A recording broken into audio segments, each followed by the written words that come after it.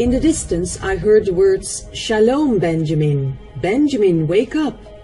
My eyes opened the moment I was called. The angel of God spoke, My name is Raphael, prophet of God. You know me. I am sent to you in the name of Yeshua HaMashiach, Jesus the Christ. Follow me now.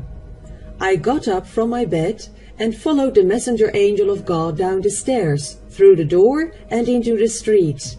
We stood still in the middle of the intersection of the street, near our house.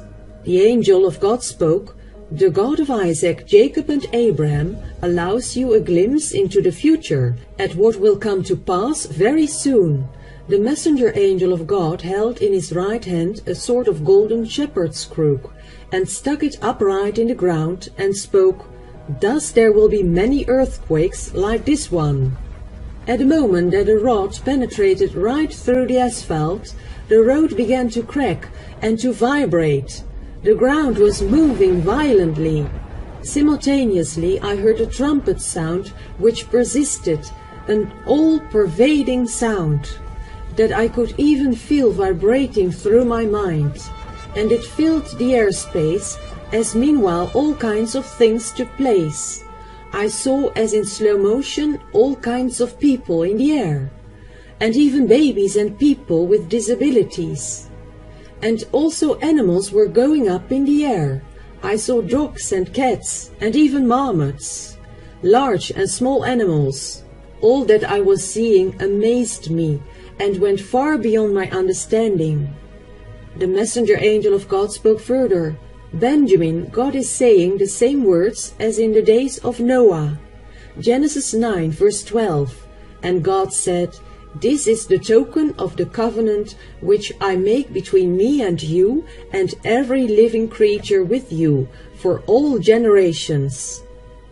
I asked, To whom is this further revealed? The messenger angel of God said, Only to Benjamin, from the tribe of Benjamin. You are truly the prophet of God of the last days. Immediately during the rapture, I saw a kind of lightning which filled the entire sky. I also heard wailing and crying everywhere. The messenger angel of God spoke, Benjamin, it will be just like it is written in Exodus 12, verse 30. There it is written, And Pharaoh rose up in the night, he and all his servants and all the Egyptians, and there was a great cry in Egypt, for there was not a house where there was not one dead. Then I said, This I understand, but that there will be a dead. Blee, a heart will have as much grief as with the loss of their loved one. I get it, I said. I saw all sorts of things falling from the sky, a helicopter that uncontrollably circled downwards. Also a plane fell from the sky. I saw fireballs coming down, which struck everywhere, in the roofs and streets. Fires arose everywhere. It looked like a war. Derailed trams and cars with people, but without drivers, crashed into each other. It was complete chaos. I saw several large and small UFOs in the air. They virtually stood still and I said, Look, Raphael! These are the visitors from space. This is what the fallen angels call themselves. I was shocked by rocky stones that fell from the sky. Some were on fire and others were not. They were slightly larger than a football and struck everywhere and caused fire. I also saw all kinds of strange satellites falling from the sky. The messenger angel spoke further and said, Benjamin, fear not, this must yet come to pass. I also felt a kind of magnetic pressure, as if everything was magnetic, as if I was pushed to all sides by some sort of air pressure. Even cars were moved sideways by this pressure. I understood that all this will happen immediately just after the rapture, when Christians have been gathered by God, the God of Isaac, Jacob and Abraham. I saw a blood-red moon, which looked badly damaged with holes, where bright light came through it. The sun was shining very bright, and the heat was unbearable. Also I heard and saw someone who cursed, but I could not understand it. I think the angel of God had made what he said unintelligible. Then he shouted, irritated and loudly, Rosh Hashanah! The angel of God said, The people will really have hell on earth, for the worst is still to come to those left behind. Benjamin, you have spoken so much on behalf of God. But some people think that you give a study and they don't even see that everything is prophetically foretold and even in the scriptures. But God points out everything is directly spoken to you and everything shall come to pass. I am who I am, thus speaks the God of Israel. I'll bring you back now, Benjamin. And the messenger angel of God said, Repent, you who are listening to this message, and surrender yourself to Jesus Christ, Yeshua HaMashiach, and you will be there where your heart, mind, soul, and body are full of. He who does not want to hear will perish. Ruacha Yeshu Shalom Emmanuel, spoke the messenger angel of God, and disappeared.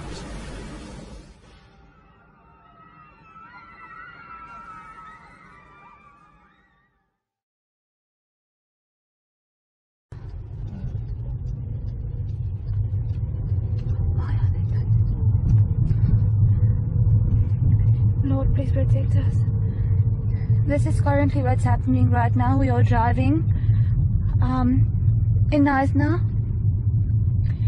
And I don't know, they want us to turn around. We, we can't go further because um, At least eight people are dead in Cape Town, South Africa, and what is being called, quote, the mother of all storms by South African local media. Four of the victims died in a fire that was caused by lightning, and authorities reported thousands have been evacuated as winds fanned fires and flash flooding hit neighborhoods hard. The rain did bring some relief to the region where drought has been intense. And check this out. High waves churned up sea foam along Cape Town's waterfront. Psalm 107, 33 and 34. He turns rivers into a wilderness, and the water springs into dry ground, a fruitful land into barrenness, for the wickedness of those who dwell in it.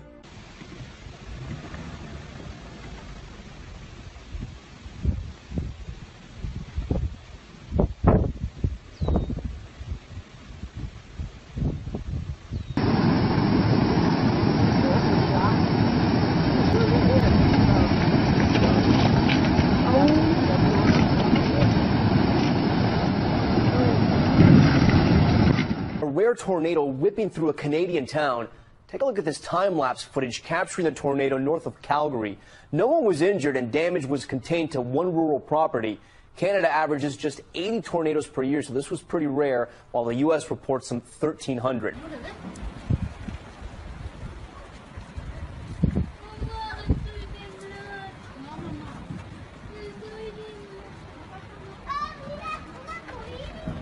No, mi mamá, ya no pasa nada. Miren el.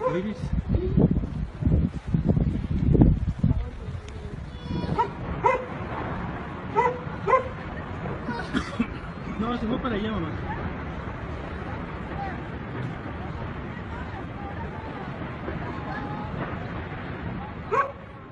As the world continues to spin out of control, we can no longer afford to ignore the truth. Almighty God, the creator of heaven, earth, and all things, is trying to get our attention. He is letting us know, through powerful weather catastrophes and the events happening in the world around us, that He is in control. And He is preparing to intervene in world affairs, climaxing in the return of Jesus Christ. Widespread disruption on the island, people trapped in mountainous areas. Heavy rain, which began on Friday, continues to inundate Taiwan, with precipitation in some areas reaching 600 millimeters. Thousands of people had to be relocated to temporary shelters. Countless homes have been left without power and water. Hundreds of flights were canceled or delayed, and schools were closed. The losses in the agriculture industry have already reached 660,000 US dollars, leading the price of vegetables to rise 30%. It's predicted to rise even more. One woman and her grandchild were trapped in the heavy rain. In just a few minutes, the water level rose waist high. Despite holding her grandchild tightly, the two of them couldn't stand still and fell into the water stream. Luckily, a rescue team arrived in time. A torrential rain warning has been issued for Luckily, the southwestern airstream is likely to leave on Sunday. But I do want to know what's coming. I used to search for new Nibiru videos every week till I gave up. It was always the same old videos copied or renamed. Our videos with misleading titles and photos offering no proof. Since videos on Nibiru are so disappointing, I decided to make my first documentary video. All you need to know about Nibiru in 10 minutes, 18 months ago. Actually, that is what started the channel you're watching now. Since I am not a scientist nor an alien, there is nothing my video can offer that you cannot find with a thorough web search. However, before my research, if you would have asked me then if I think there is really a planet X, I would have said no.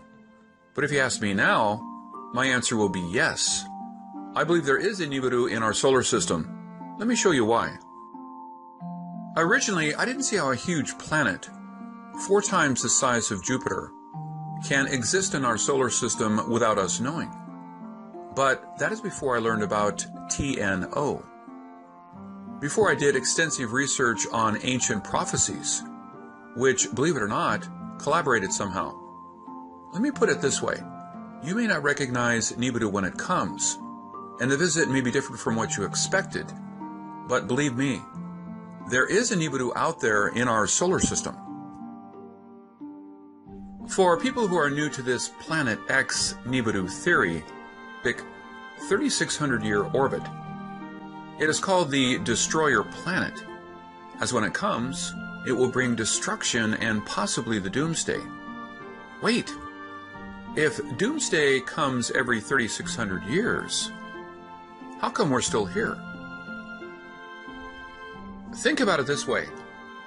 Many comets pass by our sun regularly. How many of them hit planets? The last and only one I remember was the Shoemaker-Levy 9 hitting Jupiter in July 1994. So maybe Nibiru's last flyby was harmless last time. But we may not be likely so lucky next time? Before jumping to any conclusions we cannot sustain, let me bring you another popular Nibiru theory. The planet Nibiru of Nemesis. Nemesis is supposedly our sun's brown dwarf twin. The theory was first introduced in 1984, largely based on the Earth's mass extinction 26 million years cycle. An evil twin 1.5 light years away, hidden beyond the Oort cloud, would be a perfect suspect. If Nibiru is a planet of Nemesis, it could explain how its occupants survived 3,600 years without a sun. Nemesis is Nibiru's travel companion and its portable generator. When the theory was introduced in 1984, it made great sense, and at that time, scientists believed that most stars are binary. Obviously, our sun should not be an exception.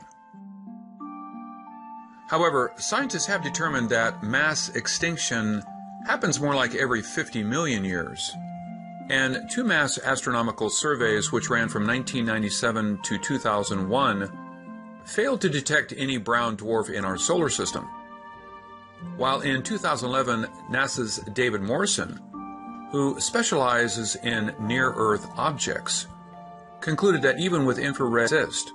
Of course, that is if you believe in what NASA tells you. However, not finding any proof of Nibiru nor Nemesis does not mean they do not exist. Plus, how do you know if you were told the truth? What do you think the government should do if they think the world will end tomorrow? Obviously, telling you will not be on the top of the list. They will build a bunker and plan shelters for people that may survive the doomsday Earth. And to avoid chaos, it is wise not to share the doomsday news with anyone. Plus, who can know for certain what will happen, right? If you think the government will always do the right thing, let me tell you what Nostradamus thought about that. In quatrain 227, quote, The divine word will be struck from the sky, one who cannot proceed any further. The secret closed up with the revelation, such that they will march over and ahead. If you have any doubts about Nostradamus' prophecies, check out some of my Nostradamus videos. When I compared his quatrains with historical events, I was shocked to find the unbelievable details revealed. Check out any of my videos and you will doomsday century. This quatrain seems to indicate that our government would get warnings from the sky, which can be divine, or from aliens. The message warns us do not proceed. It is a secret that will be kept from most of us but the warnings were probably ignored as the last sentence stated, quote, such that they will march over and ahead. Whatever the secret may be, it will be ignored, and we, mankind, will eventually face the consequences. So, if Nemesis does not exist and Nibiru is only a theory, why should we waste any more time talking about it? Actually, I think Nibiru does exist. It may be different from the mythical planet where Anunnaki reside, but it is there. Let me show you the proof about Nibiru's existence.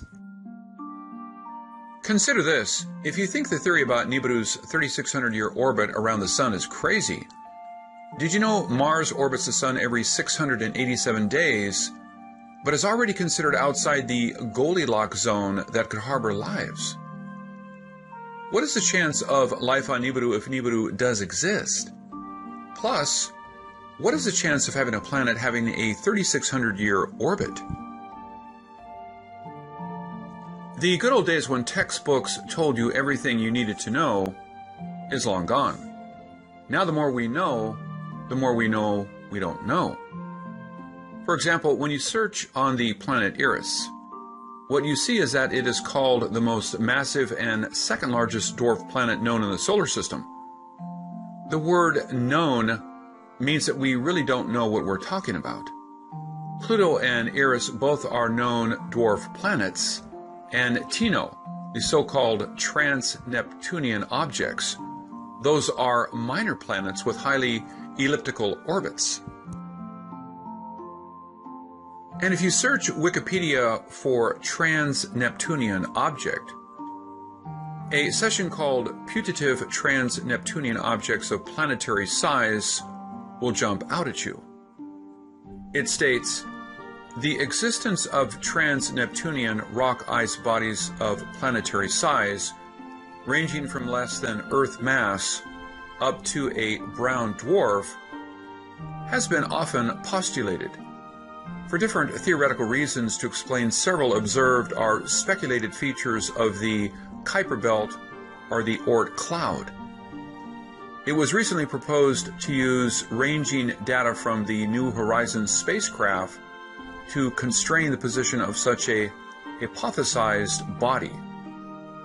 Putative means generally considered or reputed to be. Doesn't this sound like an endorsement from Wikipedia? I guess Nibiru is not all BS after all. Another reason I believe planet Nibiru is real is based on what scientists found in 2003. Sedna is a red dwarf. No, is its crazy orbit. Its aphelion, which is the closest distance from the Sun, is 76 AU, but its perihelion is 936 AU, and it takes 11,400 years to complete an orbit. During its 11,400 year journey around the Sun, we can only get a glance when it is near us. So, can you imagine how many more planets we have not seen? Can you imagine how big the others may be? Sedna's discovery proves Nibiru is not a myth. And then we found in 2014 FE72. It is another trans-Neptunian object, but this one has an orbit period of 90,000 years, with a perihelion of 36.3 AU and an aphelion of 4000 AU. This really pushes our solar system's boundaries far beyond our imagination. Then the big question is why would life choose to grow on a planet so far away from the sun? Well, I guess we don't get to pick our birthplace, right? We have to adapt to our environment, correct? Plus, life may have started on a beautiful, friendly planet till the planet changed. For that, I will share with you another story we are all quite familiar with the Shoemaker Levy 9. Did you know before Shoemaker Levy 9's impact with Jupiter, it was not orbiting the Sun? That is a fact few people know. The comet Shoemaker Levy 9 was orbiting Jupiter before it got dangerously close and crashed. Two years before impact, Shoemaker Levy 9 was orbiting the Sun. A wrong place at the wrong time changed the comet's path and destiny. So, an advanced civilization may have been flourishing on Nibiru before the planet changed its course. Or maybe Nibiru was pulled away by another star. Maybe it is our sun's binary twin. Its advanced technology made it possible to cope with whatever harsh environment, and its residents refused to leave home. Scientists feel the chance of our sun having a twin star is slim. But what gravity forces keep these minor planets circling our sun and something else on these elliptical orbits? There must be another massive body on the other end. Remember, we can only see them when they are close to us. Can you imagine how many more are out there that we have not seen? If the Earth has survived till today, why should we worry? Even if there are a million Nibirus out there, they probably won't come closer than Pluto, right? That may be right, but since we know so little, we have to rely on people who know more. And that is the problem. We have found so many new planets and new stars. Who will know what the next discovery may be? This is Ken Peters. Thank you for watching.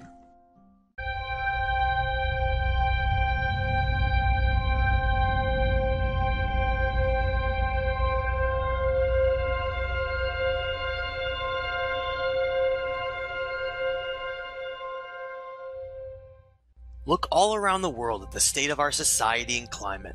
Superstorms like Harvey and Irma crashed into Texas and Florida, smashing rainfall and wind records, and a large 8.1 earthquake in Mexico caused devastating damage. For more than 10 years, our planet's climate has been changing at an alarming rate when compared to geologic records, with increased superstorms, earthquake, and volcanoes worldwide. At the same time, the media focuses our attention away from all of this towards celebrities, icons, and war to divert from the truth. So, what really is the truth? As tides around the globe begin receding at a shocking rate, as seen in Florida, Brazil, and Egypt, and large earthquakes and volcanoes increase, we all deserve to know what's really happening and if an outside force is actually to blame for all of this. We must not shy away from this information any longer for a time of great change is upon us that has been written about for thousands of years. To understand what's happening, we must first go back to the earliest developed human civilization on Earth, known as the Sumerians, in what's today known as Iraq. The Sumerians represent the first civilization to develop advanced writing techniques, as well as tracking events and chronicling our ancient history. The Sumerians claimed that their knowledge of the stars, writing, agriculture, and social structures were all lowered from heaven by great gods who came from a planet with a long elliptical orbit known as Planet X, or Nibiru, meaning the crossing. The name Nibiru is derived from the unusual elliptical orbit that the planet follows, which takes it through our central solar system every 3,600 years.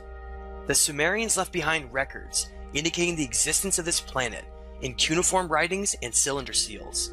The most famous of these is known as VA243, which shows a scale model of our solar system, which includes our central sun and the planets that revolve around it, including Planet X, where they claim their gods came from. Today, most of society has been tricked into believing these gods in Planet X are nothing more than a myth and fairy tale to hide the truth with laughter and ridicule. This clever tactic has hidden the real version of history and our origins for generations until over time it has been nearly lost forever. it's time for humanity to awaken from its amnesia of all of this happened before us. The Sumerians called their gods the Anunnaki, which meant those who from heaven to earth came. The Sumerians wrote in detail about both who the Anunnaki were and the events that led to their arrival on Earth hundreds of thousands of years ago from Planet X. In these early cuneiform writings, such as the Atrahasis, we learn about two brothers known as Enki and Enlil who bitterly fight over the direction of humanity and provides details of the disasters caused by the crossing of Planet X. Much of the turmoil revolves around these two rival families and how this mysterious planet has shaped our story. Enki was a brilliant scientist and was known as the great magician and geneticist of the Anunnaki family. His symbol was represented as a dragon and serpent and was shown through the modern medical caduceus symbol. The name En means Lord, with Ki being the original name of our planet before it was called Earth, which was later renamed for this great being Ea, a previous name of Enki. Enki's half brother Enlil, known as the Lord of the Air or Sky, and represented by the eagle and bull, was a polar opposite of his brother. His values revolved around a military and highly disciplined mentality, whose interests solely lie in the preservation and future of the Empire of Anu. All of the Anunnaki are named after this king of the gods who believes that he rules over Earth. The oldest and most important of these Sumerian writings is known as the Enuma Elish, which is a cuneiform tablet that speaks about our origin story and the devastation in our solar system long ago in the past. Found in 1849 in what is now the area of Mosul, Iraq, the Enuma Elish may be one of the most important pieces of writing in human history for the unaltered and extensive information given for the events of the ancient past. The Enuma Elish contains seven tablets, with the first five describing the turbulent celestial events that happened long ago when these Anunnaki royal gods acted out roles as the planets of our solar system, like a grand play, with Marduk being represented as the planet X, known to the Sumerians as Nibiru, with Enlil represented as Jupiter. Reading from an excerpt from Tablet 6 of the Enuma Elish, it states They bound him, holding him before Enki. They inflicted the penalty on him and severed his blood vessels. From his blood, he, Enki, created mankind on whom he imposed the service of the gods and set the gods free. After the wise Enki had created mankind and had imposed the service of the gods upon them, the task is beyond comprehension. The gods were then divided, all of the Anunnaki into upper and lower groups. He assigned 300 in the heavens to guard the decrees of Anu and appointed them as guard. Enlil has always hated humanity and called them the beasts referencing their primitive nature and compared to their DNA.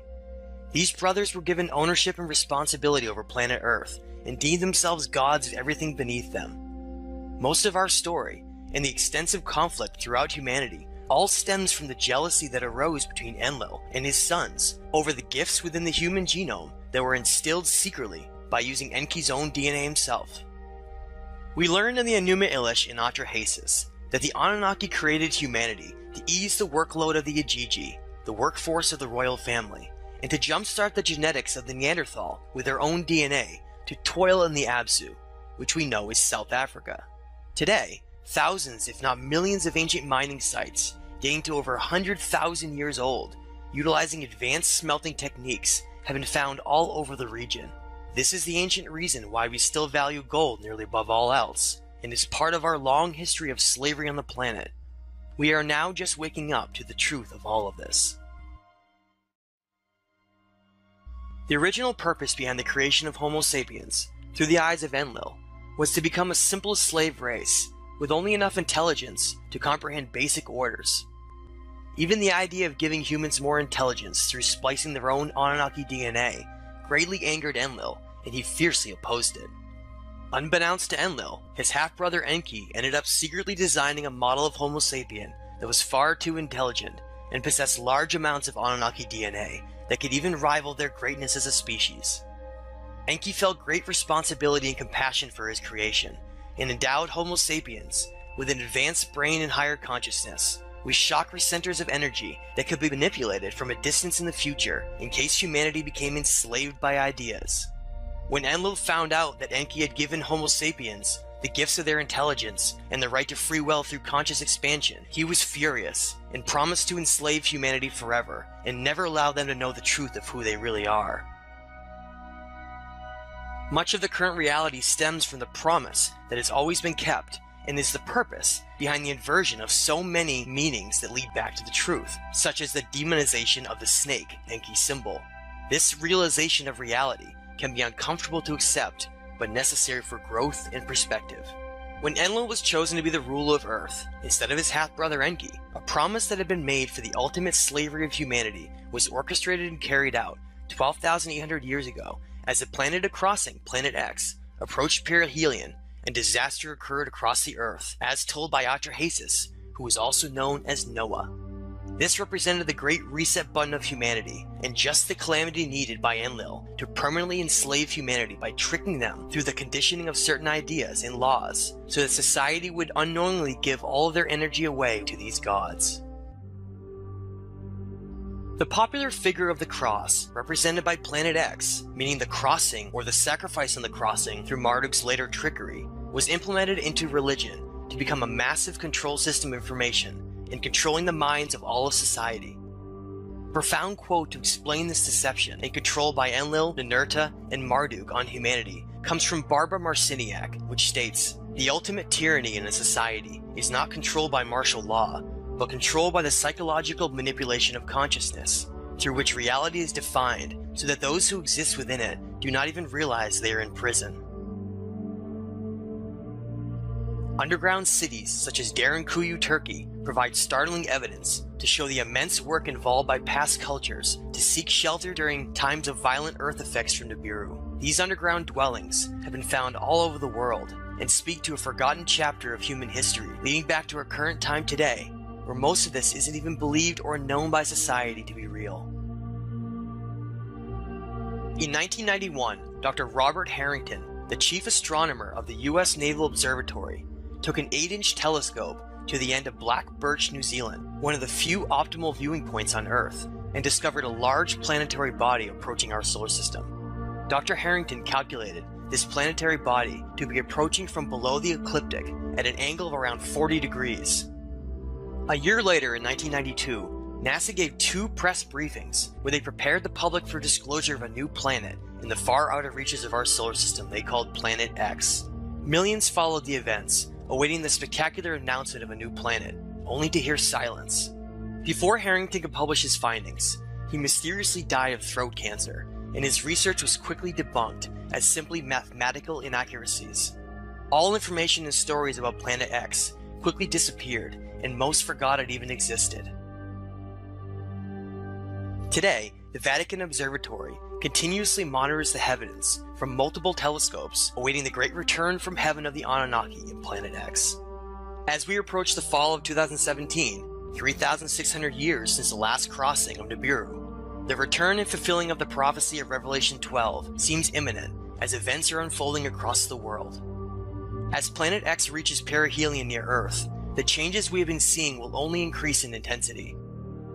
Great care must be followed by those living along coastal regions, especially those areas that are very low lying and prone to flooding. Ocean levels will begin fluctuating dramatically during tidal phases, as well as increased earthquake and volcanic activity. Any large seismic activity could lead to a number of tsunamis along the coast and should be monitored closely. No matter what happens during this pass, records indicate it will not be anywhere near as destructive as the past 12,800 years ago, which led to the end of the Ice Age and the Great Deluge. The biggest impacts from Planet X are likely not going to come from environmental disruptions, but from sweeping change across our social, monetary, political, religious, and scientific understandings. Reality as we know it will change forever once intelligent life is finally announced to the public. All of the silly distractions and ignorance that has plagued our world will melt away with astonishment and wonder once major discoveries in archaeology are revealed that lie under the Great Pyramid of Giza and the Sphinx, known as the Halls of Amenti. Our understanding of who we are and our place within the multiverse is just beginning to be understood. This will be a time of weighing our consciousness and measuring our actions to reflect on what kind of being we are and how we can contribute to our timeline story. The Anunnaki gods follow the ancient rules laid down for the balancing of energy during zodiacal cycles. The time of Pisces featured a negative polarity, which is why we saw war dominate the planet for thousands of years. All of these changes represent the great metamorphosis of our time as we enter the positive polarity of Aquarius in the next several years to take the first step on our journey into the cosmos to join our galactic neighbors. What kind of society will we become? One focused on war and material gain by the eagle? Or higher consciousness in the lost teachings of the great dragon Enki?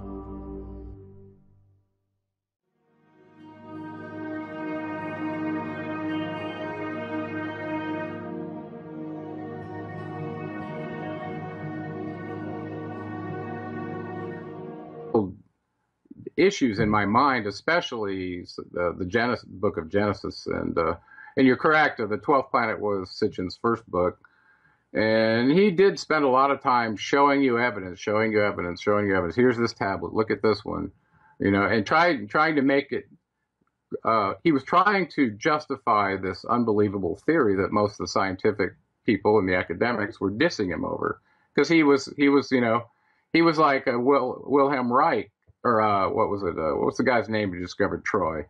Uh, I can't remember his name. He was a German though. But you know, the same problem with him is the academics dissed him, and uh, you know, so he was pretty much out on his own with his own resources.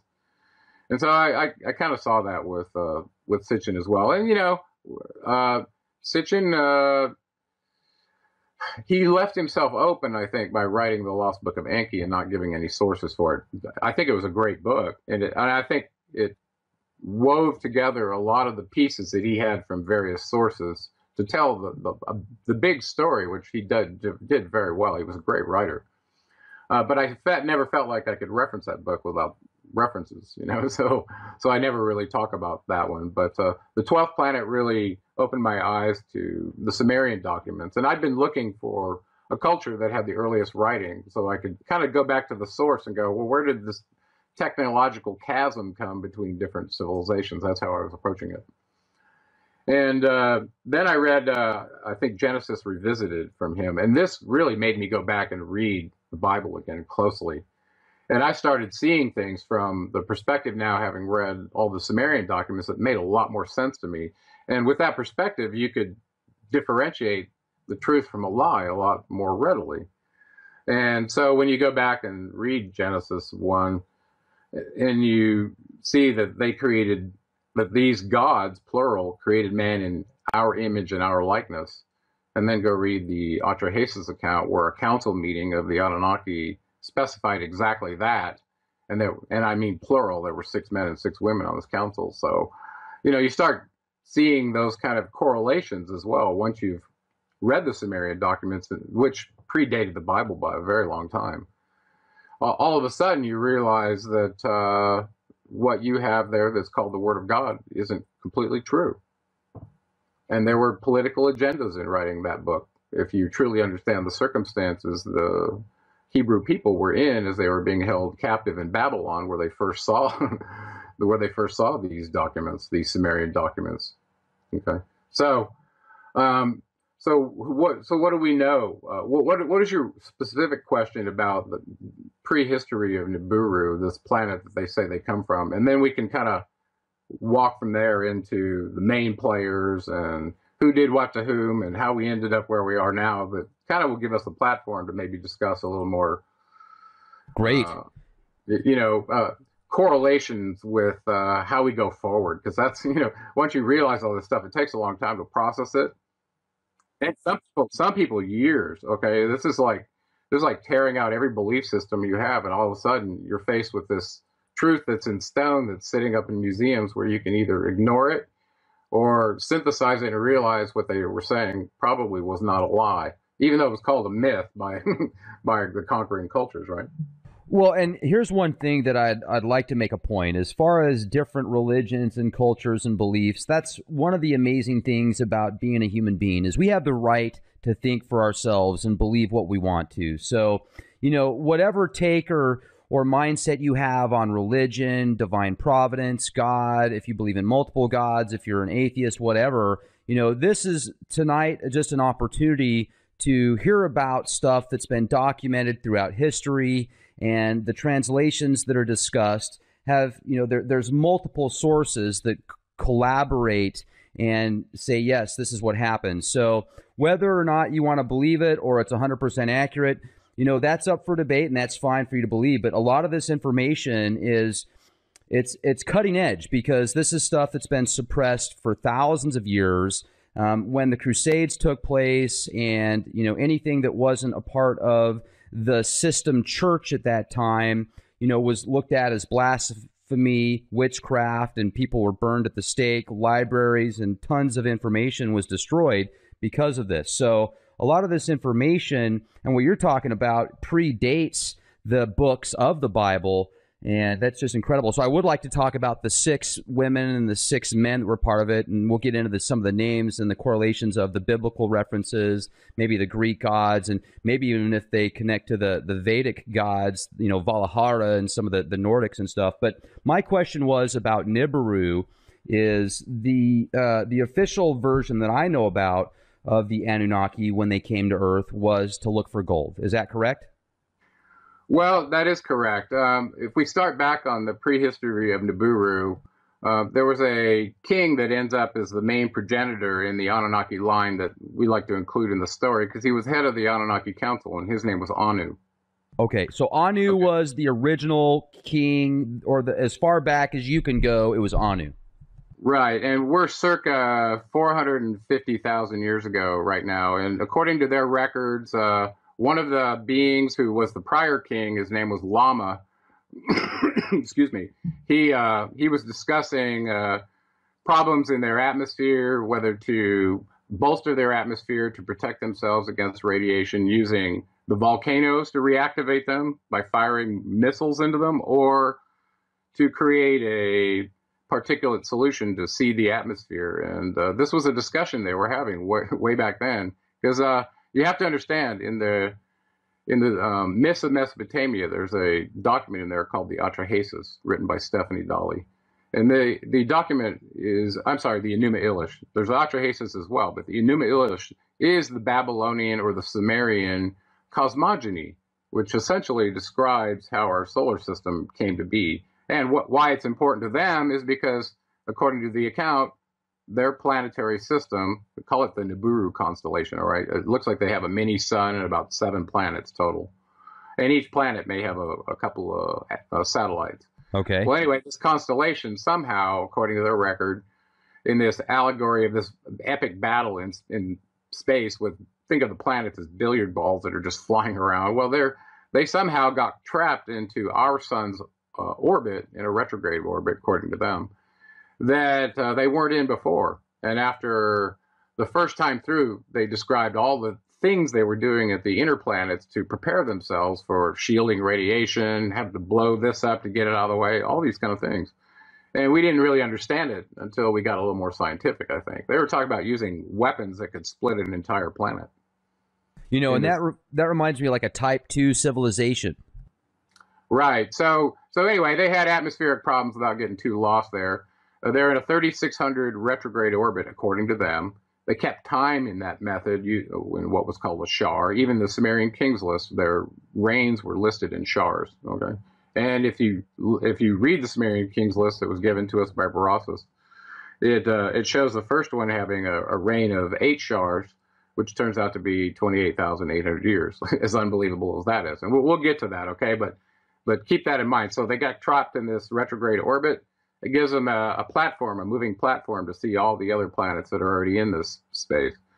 Well, they didn't get they didn't get out that easily. They apparently had some collisions about the second time around their their 3,600 year orbit, such that one of the satellites of Nibiru struck um, a planet that was in the place where the Earth is now. They called it Tiamat.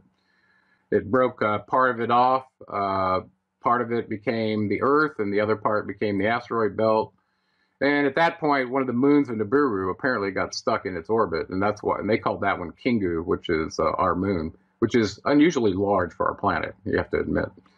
So anyway, so a lot of these stories they told in this Enuma Elish account, we're now verifying scientifically that what they said is true, and you know this document is is quite old. So from that, from there, uh, they needed a solution because if you imagine a planetary system coming into perihelion with the sun every 3,600 years, what it would do to your atmosphere? It'd probably strip it of various uh, components that uh, would normally be there, either through magnetic effects, through plasma discharge, and radiating it. Who knows? Okay, but apparently they had this need to keep bolstering their atmosphere, which you know, and I think they knew in the long run it was a losing battle to continue to do this. They needed a long term solution. And I think that's partly where the Earth came in, in their long term plans. But anyway, they, they had an, an occlusion account in their Enuma Elish with the Earth, so they knew about it, and they called the, the planet Ki. Okay, and they counted from the outside in from their from their perspective, since when they were out aphelion, they were the farthest planet out. So they counted inward of the planets inward, and that if you count that way, the Earth is number seven. That's why I named my second book The Seventh Planet. Okay. So, uh, with this problem that they had, they, the king Anu decided to dispatch his chief scientist, who was called Enki. It was his firstborn son. He was uh, sent to the Earth to do a couple of things. One of the primary things was to find resources to bolster the atmosphere back on Nibiru as they were coming into perihelion with the sun again. So, uh, some accounts show that he was looking in the Persian Gulf initially. That's where he splashed down and built the city of Eridu, which is right there where the Tigris and the Euphrates meet, running through the Sea of Reeds into the Persian Gulf. Okay, so that's according to him. If he did that when he said he did it, that city's 450,000 years old, and it's still sitting there in the desert in Iraq, pretty much, pretty much, uh, I don't know, like a pile of rubble. Jeez. Anyway, um, so that's pretty amazing. So he came, uh, tried to get colloidal gold out of the oceans. Apparently, if it's already in a colloidal solution, or you, you can use chemicals to do it and derive it that way, you already got a powder-like form that you can uh, ionize in the atmosphere. It's very simple. Whereas, you know, if you take gold and have to smelt it somehow to get it to a, a powder form or a form that could be sprayed, think about how you would do that. Would you just make it little tiny particles that you'd spray up there? It'd be too heavy. It would just it would just fall out of the atmosphere, right? So that'd be very very small particles. So, uh, so that was about 450,000 years ago. So uh, Enki uh, was Enki means Lord of the Earth, by the way. So his initial title was Lord of the Earth. Um, his half brother Enlil uh, was still back on Nibiru, and he was born of his father Anu and his half sister, Anu's half sister, whose name was Arash. Her other name was Ki. She was, she was nicknamed Ki Arash. So she uh, ended up giving birth to Enlil, and because she was a half sister, and because of mitochondrial DNA contributions in, in, the purity of their bloodline, he was in line to rule. Enki was not. So um, at this point, we're in the Persian Gulf, and Enki's trying to get gold. He brought a small band of workers with him, which he called the Igigi. They also referred to him in the book of Enoch as the Watchers. These were highly technical fellow gods that uh, generally ran spacecraft, low Earth drones, uh, all kinds of technical things to watch the state of the simulator to report back to the higher ups. Okay, whether it was an asteroid coming in or too much radiation, just whatever. Okay, that's partly why they were called the Watchers. So they were they were there uh, to assist Enki in getting this gold from the Persian Gulf. Apparently, they didn't get it fast enough. Five thousand years elapsed. Uh, they ended up being vectored to South Africa, where the Atrahasis document picks up. So uh, at this point, um, apparently they weren't getting gold fast enough from the Persian Gulf, and they got vectored down to Africa where they could mine it more significantly. This is where the Atrahasis picked up. And in the beginning of this first tablet of the Atrahasis, it describes them casting lots you know, uh, to divide up the territories between some of the key players that we we should lay out here. We've already mentioned Anu and Enki. Enlil was the other one. The one we didn't mention was the half sister to both of them, whose name was Ninharsag. And later on, we'll find out her name was Isis in Egypt. She was the medical officer that accompanied them. She was very important because if, if one of them had a child with her, it would be in line to rule because of this half sister uh, mitochondrial DNA thing. So she was kind of a key player for that reason as well. Okay. So um, he they end up casting lots. Enki gets Africa. Anu goes back to Nibiru. Enlil gets Mesopotamia. And the exemption is that the temple of Eridu and the city that Enki built there with his original Igigi Watchers still belonged to him. And apparently, he had a garden there, and he'd done all kinds of things in 5,000 years until his brother showed up. At this point, um, they've divided the territory. I left Inanna out. She got the Indus Valley. Okay, and Enki, Enki's in Africa. Oh, and, and the medical officer actually got some territory, even though she was a medical officer. She uh, she got given the Bond Heaven Earth region up in the Sinai Peninsula that belonged to the Anunnaki. Now, this was the area where they had their, I guess you would call it their communication facilities. Okay. And also transport facilities for moving the ore back to Nibiru, whether it went directly or via a way station. I'm thinking of those in Peru or somewhere out there. They had those ginormous, like uh, landing pads and very big, uh, you know, kind of, I guess, sculptures of different animals and stuff like that. W- was that done by the Anunnaki? Like, was that to give them an idea from space? Um, it very well could have. Uh, there, there have been several races, I believe, that have visited the Earth and done prospecting here, and I think there have been somewhat controversies between races of vying for those, uh, uh, you know, resources from the Earth. So, you know, resource wars and genetic wars, both. Excuse me. Okay, so let's go back to Africa.